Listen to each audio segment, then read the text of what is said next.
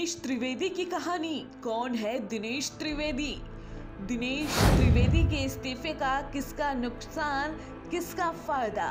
क्या बीजेपी को उठाना पड़ सकता है नुकसान?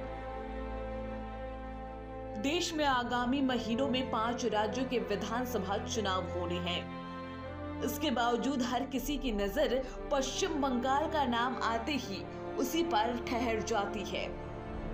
बीते कुछ महीनों में बंगाल की राजनीति में एक गजब भूचाल आया है और इसका सबसे ज़्यादा नुकसान सत्ताधारी दल तृणमूल कांग्रेस को झेलना पड़ा है। बंगाल के मुख्यमंत्री ममता बनर्जी के करीबियों में शामिल कई मंत्री और नेता टीएमसी को छोड़कर बीजेपी का दामन थाम चुके हैं। इस लिस्ट में एक नया नाम टीएमसी के राज्यसभा सांसद और पूर्व रेलवे मंत्री दिनेश त्रिवेदी का भी जुड़ गया है। दिनेश त्रिवेदी का इस्तीफा देना उतना अचंभित नहीं करता जितना उनका ये कहना कि टीएमसी में घुटन होती है। कौन है दिनेश त्रिवेदी? मंत्री दिनेश त्रिवेदी के गुजराती माता पिता और विभाजन के समय कराची से दिल्ली आकर बस गए थे।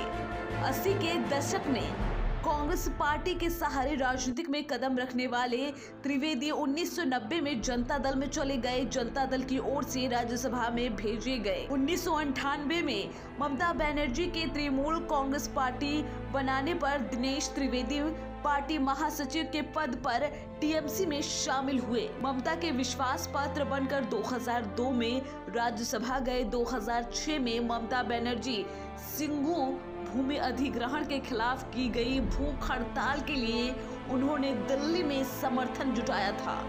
2019 में उन्होंने बैरकपुर लोकसभा सीट से जीत हासिल की थी। दिनेश त्रिवेदी ऐसी तमाम चीज़ों में उनका राजनीतिक वज़न काफ़ी बढ़ा दिया है। ऐसे में बीजेपी में शामिल दिनेश त्रिवेदी के इस वज़न को कहाँ तक झेल पाएगी, ये भी समझना ज़रूरी है। बीजेपी राष्ट्रीय महासचिव और पश्चिम बंगाल के प्रभारी कैलाश विजयवर्गीय पार्टी में शामिल होने वाले नेताओं पर रोक लगाने की बात कह चुके हैं।